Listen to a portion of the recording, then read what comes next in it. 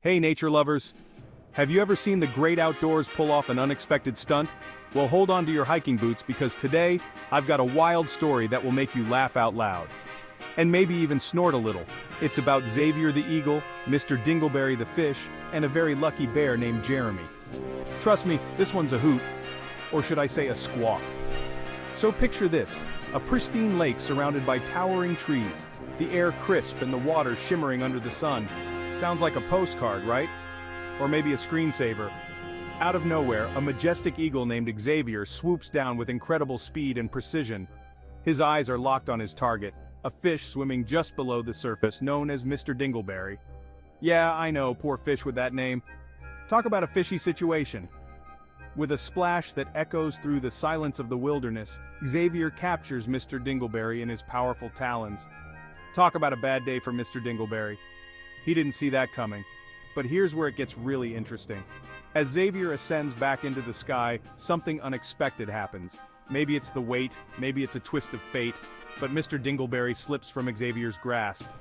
Oops, Butterfingers, or should I say, Butter Talons. Now you won't believe what happens next. Seriously, you can't make this stuff up. It's like nature's version of slapstick comedy. There, just a few feet from the lake, stands Jeremy the grizzly bear.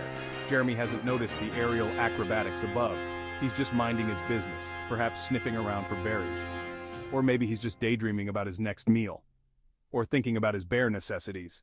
But as fate would have it, Jeremy's about to get the surprise of his life. And trust me, it's a doozy. It's like winning the bear lottery. Mr. Dingleberry, free from Xavier's grasp, falls straight down, and you guessed it, right into Jeremy's open mouth. Talk about fast food delivery. Uber Eats, Bear Edition. It's like something out of a cartoon, right? I mean, who needs TV when you have nature? Nature's got all the best channels.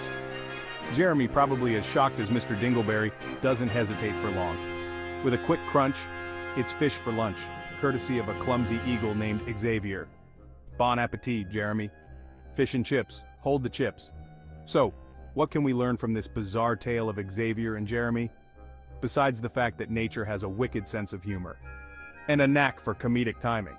Sometimes nature has its own script, full of surprises and unlikely heroes. And sometimes it's just plain funny. Like a stand-up routine in the wild. And let me tell you, it's always a show worth watching. Who needs Netflix when you have this? Nature flicks anyone? Thanks for tuning in, and remember, the great outdoors is full of incredible stories just waiting to be discovered. And who knows, maybe a few laughs too. Nature's got jokes, keep exploring, and who knows, maybe you'll stumble upon your own unbelievable wildlife encounter. Or at least a good joke. Happy trails and keep laughing.